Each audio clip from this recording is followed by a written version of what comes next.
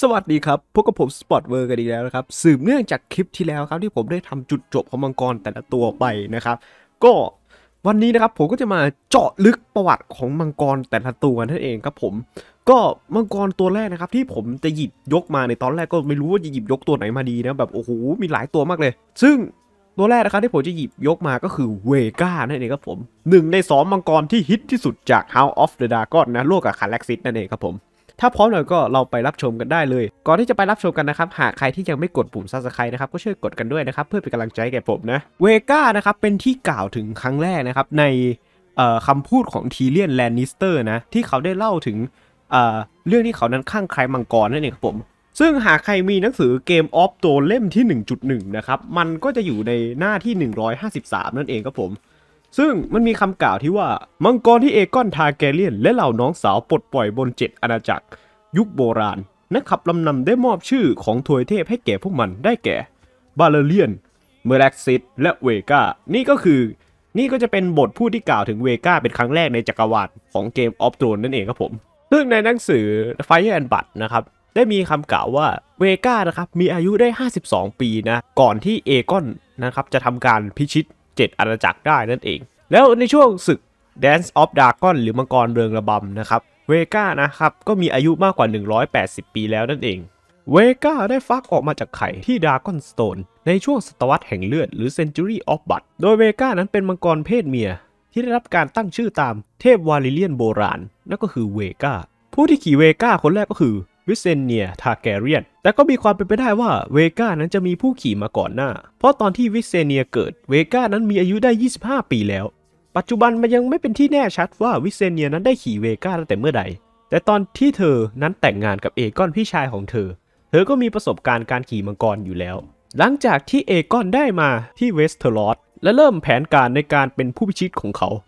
วิเซนยาก็บินพาเวก้าไปที่สตอกเวิร์ด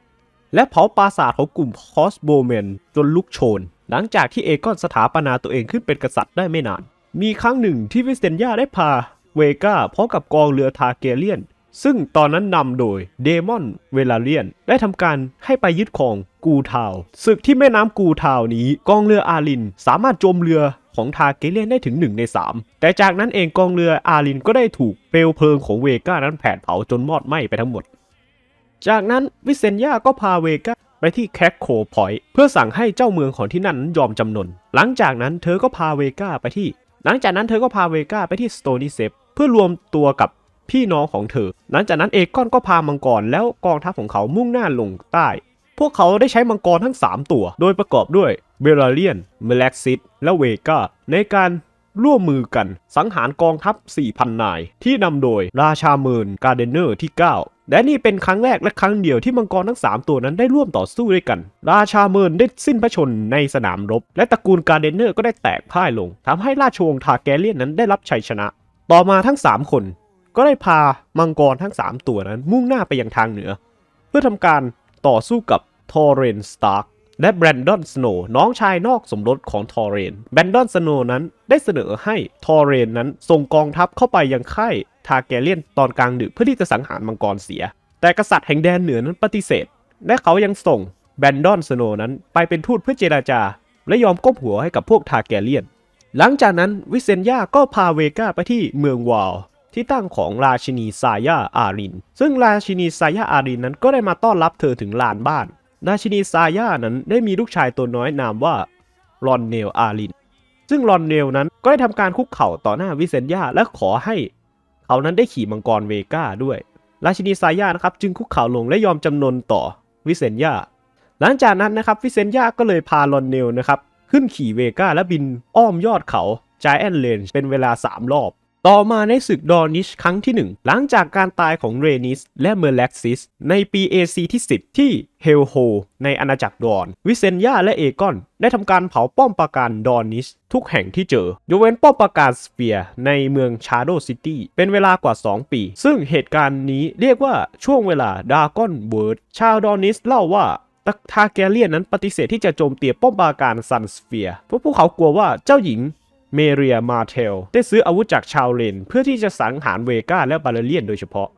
ดังนั้น Archmaester ทิโมธีจึงแนะนำให้พวกทาแกเรียนนั้นเน้นยุยงให้เหล่าตระกูลต่างๆ ต่อต้านตระกูลมาเทล ต่อมากษัตริย์เอกอนได้สิ้นพระชนม์ในปี AC ที่ 37 เวกาก็เป็นมังกรที่ได้ทำการประชุมเพลิงฌาปนกิจให้กับพระองค์ ในปี AC ที่ 41 กษัตริย์เอนิสทาแกเรียนที่ 1 ได้ตั้งชื่อลูกชายและทายาทคนโตของเขาว่า เอกอนเจ้าชายแห่งดากอนสโตนต่อมาในการแต่งงานของเจ้าชายเอกอน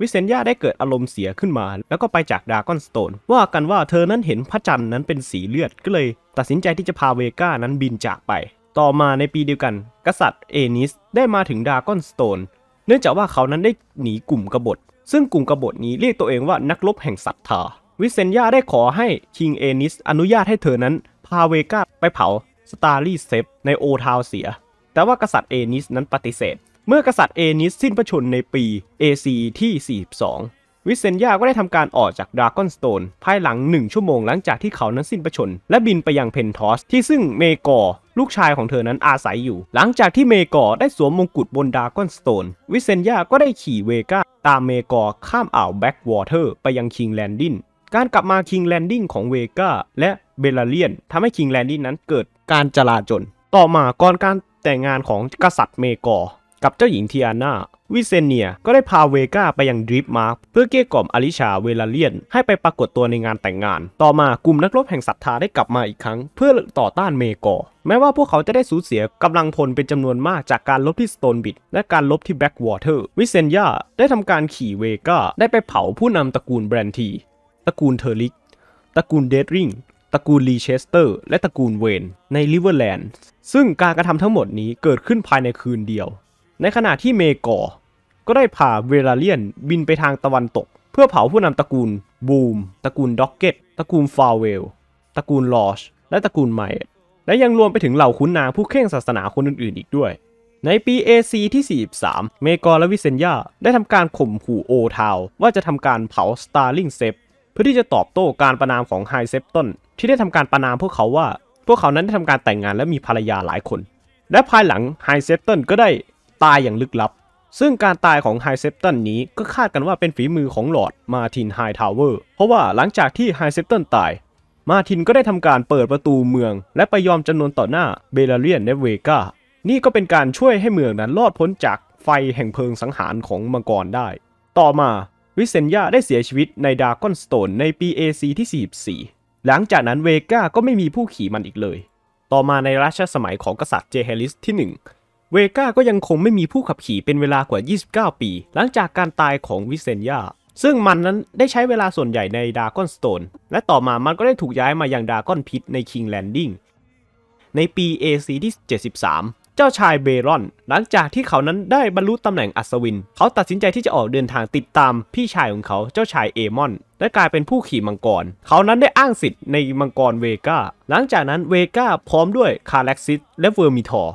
ได้ทำการเผากองเรือโดนิส ที่พยายามบุกรุกสตอร์มแลนด์ในสงครามดอร์นิชครั้งที่ 4 ในปี AC ที่ 83 ต่อมาหลังจากที่มังกรบาเลเรียนเสียชีวิตเนื่องจากโรคชราในปี AC ที่ 94 เวก้าก็กลายเป็นมังกรทาร์แกเรียนตัวสุดท้าย ในยุคสมัยของการพิชิตของเอกอนที่ยังมีชีวิตอยู่ หลังจากนั้นเวก้าก็ได้ไร้ผู้ขับขี่อีกครั้งหลังจากเจ้าชายเบลอนเสียชีวิตในปี AC ที่101ต่อมาในรัชสมัยของวิเซลิสที่ 1 เจ้าหญิงเลนาเวลาเลียนก็กลายเป็นผู้ขับขี่คนถัดไปของเวก้าซึ่งเธอนั้นก็ได้ขี่มังกรก่อนที่เธอจะอายุได้ 12 ปีเสียอีก ตามคำบอกเล่าของเมสเตอร์ในดริฟต์มาร์กเลนานั้นเป็นคนที่ชอบขับขี่มังกรเป็นอย่างมาก เมื่อเลนาแต่งงานกับเจ้าชายเดมอนทาร์แกเรียนในปี AC ที่115พวกเขาก็ได้ พามังกร บินข้ามทะเลแคบ ไปยังเพนทอส ไปยังโวเลนทิส ไปยังโคโฮ และโนวอส และทุกหนทุกแห่งที่พวกเขาไปนั้น ฝูงชนจำนวนมากก็ออกมาเพื่อที่จะรับชม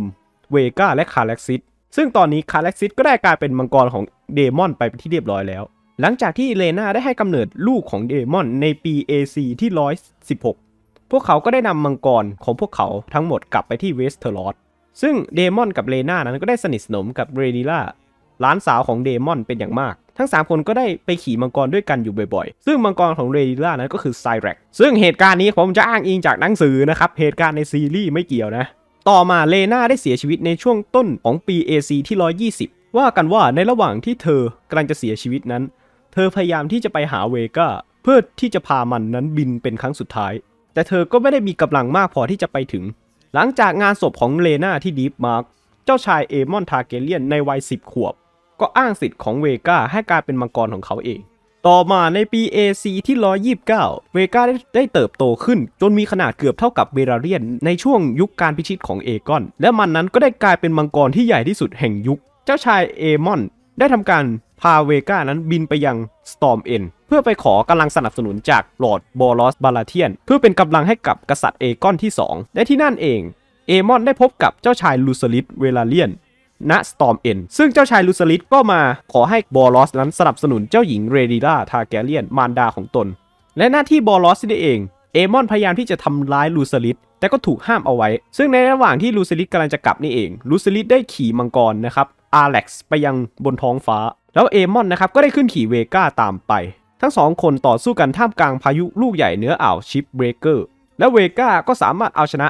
อาแร็กซ์ได้อย่างรวดเร็ว เนื่องจากขนาดมันต่างกันเยอะนะ ซึ่งเวก้านั้นก็ได้ทำการเขมือบอาแร็กซ์ไปพร้อมกับลูซลิสต่อมาเวก้านั้นได้มีบทบาทอีกครั้งกับการต่อสู้กับเมลีมังกรของเจ้าหญิงเลนิส เหตุการณ์นี้ทำให้เอกอนที่ 2 ได้รับบาดเจ็บสาหัสทำให้เขานั้นไม่สามารถปกครองอาณาจักรได้ เจ้าชายเอมอนจึงได้รับการแต่งตั้งให้เป็นผู้สำเร็จราชการแทนพระองค์ ซึ่งตอนนี้เองเอมอนได้ป่าวประกาศว่าภัยคุกคามของสงครามครั้งนี้ ที่ยิ่งใหญ่ที่สุดก็คือเจ้าชายเดมอนทาร์แกเรียน ที่กำลังรวมกองทัพอยู่ที่ฮาร์เรนฮอลเอมอนนะครับจึงได้นำเวกาและกองทัพคณะเขียวจากคิงแลนดิงนะครับมุ่งหน้าไปทางเหนือเพื่อโจมตีฮาร์เรนฮอลทำให้ณตอนนี้คิงแลนดิงนั้นเหลือการป้องกันเพียงน้อยนิดเท่านั้น เมื่อเอมอนและเวกามาถึงฮาร์เรนฮอลกลับพบว่าที่นั่นนั้นไร้การป้องกันและว่างเปล่าเนื่องจากว่าเจ้าชายเดมอนนั้นแอบลอบโจมตีคิงแลนดิงหลังจากที่เอมอนและเวกานั้นออกจากเมืองหลวง หลังจากการล่มสลายของ King Landing เจ้าชายเอมอนและหัตถ์พระราชาตอนนั้นก็คือเซอร์คริสตันโคนะครับ ตัดสินใจกันไม่ได้ว่าจะดำเนินสงครามต่อไปอย่างไรดี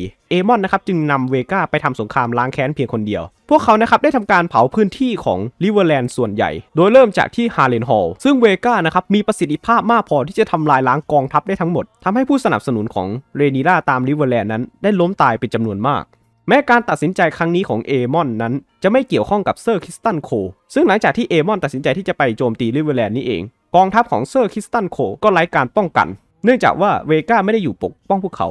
กองทัพของคริสตันโคนั้นจึงมุ่งหน้าไปทางตะวันออก ภายหลังก็ได้ถูกปิดล้อมและก็ได้และก็ได้ถูกทำลายลงโดย Butcher's Ball ซึ่งหลังจากที่กองทัพของคริสตันโคนี้ได้ย่อยยับไปนั้น กองทัพของเรนีร่าก็ได้มุ่งหน้าไปทางตะวันออก แบบสบาย ซึ่งต่อมาเอมอนและเวกานั้นก็ยังทำลายดินแดนตามริเวอร์แลนด์อย่างต่อเนื่อง แต่พวกเขาก็ยังมีความหวาดกลัวต่อเอมอนและคาเล็กซิสและทำให้เหล่าสามผู้ปกครองในดินแดนแถบนั้นรู้สึกหวาดกลัว ต่อมาเดมอนทาแกเลียนก็ได้มาพร้อมกับมังกรของเขาคาเล็กซิสพร้อมด้วยนักขี่มังกรนามว่าเน t เทลได้ขี่มังกร The Chief Stealer ได้ถูกส่งออกไปล่าเอมอน ซึ่งพวกเขานั้นได้รับอนุญาตให้ใช้เมเดนพูลเป็นฐานบัญชาการ เนื่องจากลอร์ดแมนฟริดมูตันนั้น กลัวการโจมตีของเวกาและเขาพบว่าตัวเองนั้นจะปลอดภัย ถ้าหากว่าเดมอนและเน t เทลนั้นอยู่กับเขา ซึ่งต่อมาเดมอนและเน t เทลนั้นก็ได้ร่วมกันค้นหาเวกาแต่ก็ไม่ประสบความสำเร็จ ซึ่งมันนั้นก็ยังเผาดินแดนตามริเวอร์แลนด์อย่างต่อเนื่อง หลังจากการรบที่ทัมเบิลตันครั้งที่ 1 เดมอนได้ส่งข่าวว่าเขาและคาเล็กซิสจะรอเอมอนและเวกาอยู่ที่ฮาเลนฮอลหลังจากผ่านไป 14 วัน เวกานั้นก็ปรากฏตัวขึ้น พร้อมกับเอมอนบนท้องฟ้า และยังมีอาลิสริเวอร์คู่รักของเอมอนอีกด้วย เอมอนนั้นได้ทิ้งอาลิสไว้ที่ลานของปราศาสาทและเอมอนและเวกานั้นก็ได้ขี่มังกรพุ่งไปยังอากาศ ซึ่งทั้ง 4 นั้นประกอบด้วยเดมอนคาเล็กซิสเอมอนและเวก้าถูกฆ่าตายกลางอากาศ เหนือ God's Eye ซึ่งคาเล็กซิสนั้นได้ทำการกัดที่คอของเวก้าและฉีกเนื้อของมันออก หลังจากนั้นเดมอนก็กระโจนออกจากหลังมังกรไปยังเวก้าและทำการฟันทะลุดวงตาของเอมอนจนตาย มังกรทั้งสองตัวตกลงไปยังทะเลสาบ หลายปีให้หลังหลังจากเหตุการณ์ The Dance of Dragon ร่างของเวก้าก็ได้ถูกนำขึ้นมาพร้อมกับโครงกระดูกของเอมอนที่ถูกติดไว้กับอ่าน แต่ว่าไม่มีใครพบเห็นร่างของเดมอน ซึ่งเวก้านั้นได้เสียชีวิตในวันที่ 22 ของเดือนที่ 5 ปี AC ที่ 130 สิริอายุได้ 181 ปี ต่อมาในปี AC ที่ 299 Daenerys Targaryen ได้สร้างเรือสามลำ โดยให้ชื่อว่าเวกาเมลักซิส และเบลาเลียน เพื่อบอกให้โลกรู้ว่ามังกรทั้ง 3 ตัวนั้นได้กลับมาแล้วถ้าชอบคลิปนี้ก็อย่าลืมกดไลค์ กดแชร์ กด subscribe ได้ยืมกดกระดิ่งแจ้งเตือนกันด้วยนะครับ คลิปหน้าจะเป็นอย่างไรก็โปรดติดตามกันด้วยนะครับ แจ้งให้ทราบตอนนี้ทาง Spot Worldีช่องทางการสนับสนุนแล้วนะครับ หากใครที่ต้องการสนับสนุนผมนะครับ ก็สามารถโดเน a มาได้ทางช่องทางตามหน้าจอที่ปรากฏได้เลยครับผมปอลอถ้าเกิดโดเน a มาแล้วอยากจะดูคลิปอะไรก็ช่วยเขียนบอกกันด้วยนะครับนะครับ หรือใครอยากจะสนับสนุนผมผ่านปุ่มขอบคุณก็ได้นะครับ